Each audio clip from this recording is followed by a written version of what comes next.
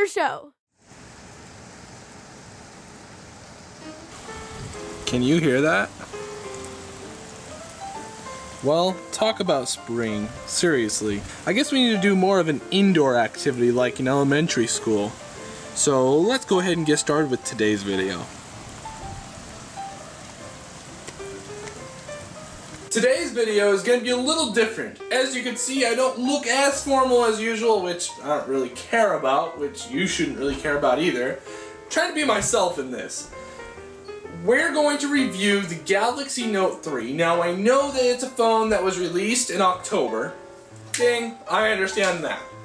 And I understand that it's going to be a year old soon. I got that.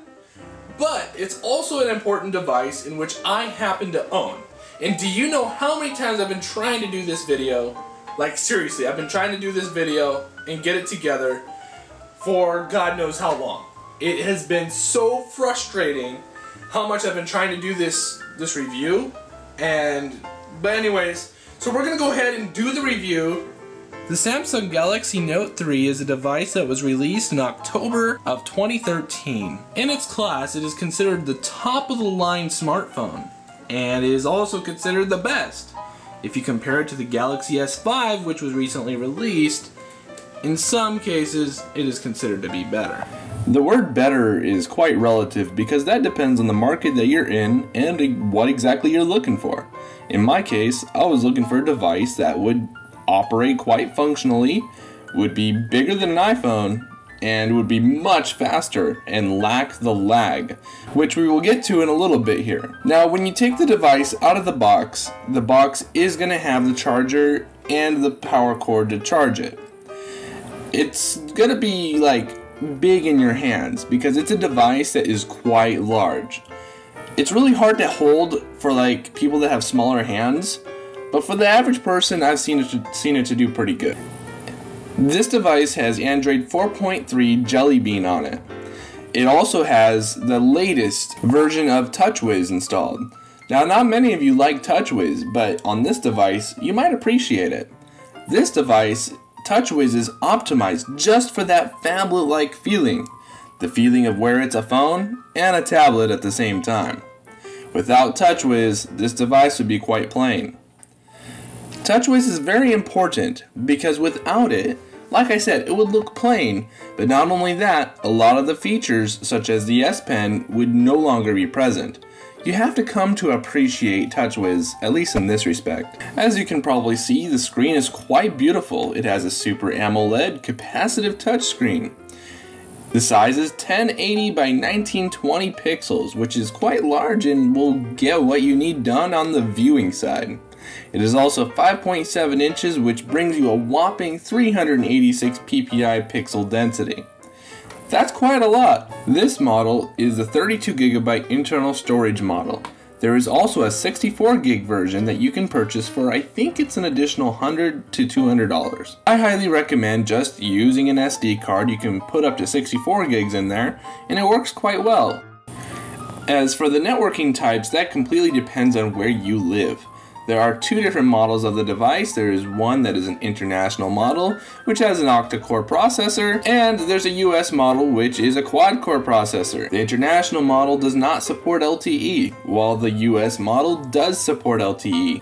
And the LTE is quite fast. It is category 4, up to 150 Mbps download, and up to 50 Mbps upload.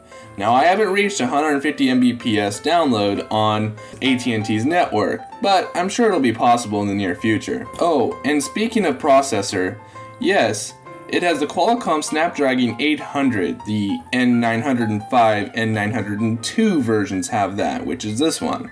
There's also the international version, like I said, which has the Exynos 5 Octa 5420. And again, I don't know why Samsung is catering to the international uh, world, not really US, but I guess they just think that the US doesn't need 8 cores. I don't know, whatever the case is, that's just what they decided to do. If you're into gaming, you're gonna love this device.